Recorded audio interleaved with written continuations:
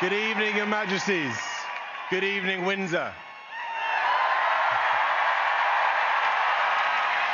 A huge thank you to everyone for making this such a special evening.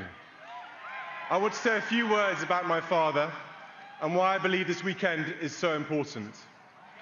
But don't worry, unlike Lionel, I won't go on all night long.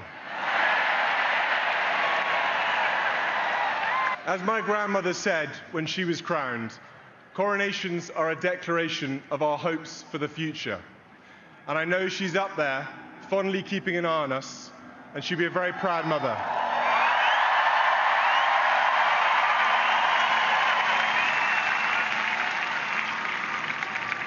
For all that celebrations are magnificent, at the heart of the pageantry is a simple message service.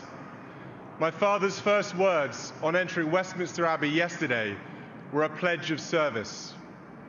It was a pledge to continue to serve, because for over 50 years, in every corner of the UK, across the Commonwealth, and around the world, he has dedicated himself to serve others, both current and future generations, and those whose memory must not be neglected. He warned us of the risks to our planet's health long before it was an everyday issue. Or the Prince's Trust. It is supported.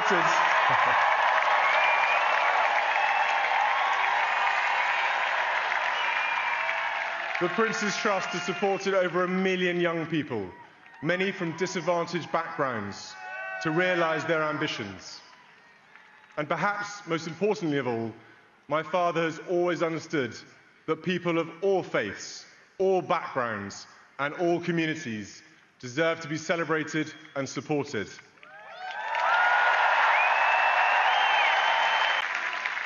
Pa, we are all so proud of you.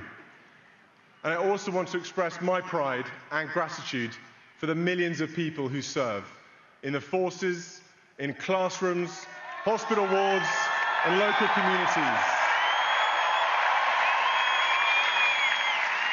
I wish I could mention you all. Your service inspires us, and tonight we celebrate you too. I commit myself to serve you all King, country, and Commonwealth. God save the King.